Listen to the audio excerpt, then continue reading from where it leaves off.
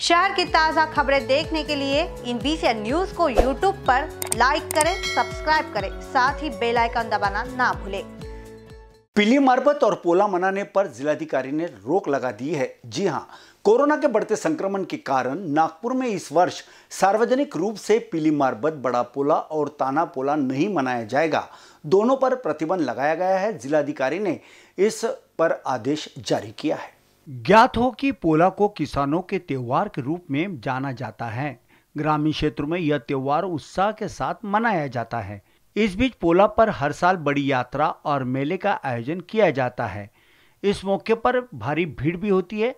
नागपुर में कोरोना संक्रमण बढ़ रहा है और 18 अगस्त को पोला है। 19 अगस्त को ताना पोला है। यदि सार्वजनिक रूप से त्यौहार मनाया जाता है तो बड़े पैमाने पर कोरोना संक्रमण की संभावना से इनकार नहीं किया जा सकता। कोरोना के बढ़ते संक्रमण के कारण नागपुर में इस वर्ष सार्वजनिक रूप से पीली मार्बत बड़ा पोला और ताना पोला नहीं मनाया जाएगा। दोनों पर प्रतिबंध लगाया गया है। जिलाधिकारी ने इस संबंध में आदेश जारी किए। इसलिए प्रशासन ने सार्वजनिक रूप से बड़ा पोला और ताना पोला के उत्सव पर प्रतिबंध लगा दिया। यह त्योहार वैयक्तिक स्तर पर मनाया जा सकता है। हालाँकि, जिलाधिकारी रविंद्र ठाकरे ने शारीरिक दूरी बनाए रहने और इसे करते समय फेस मास्क पहनने की अपील भी की है। नागपुर के जिलाधिकारी कार्यालय से कैमरा पर्सन सुभाष बुटले के साथ Sanjay Mire in BCN news, Nagpur.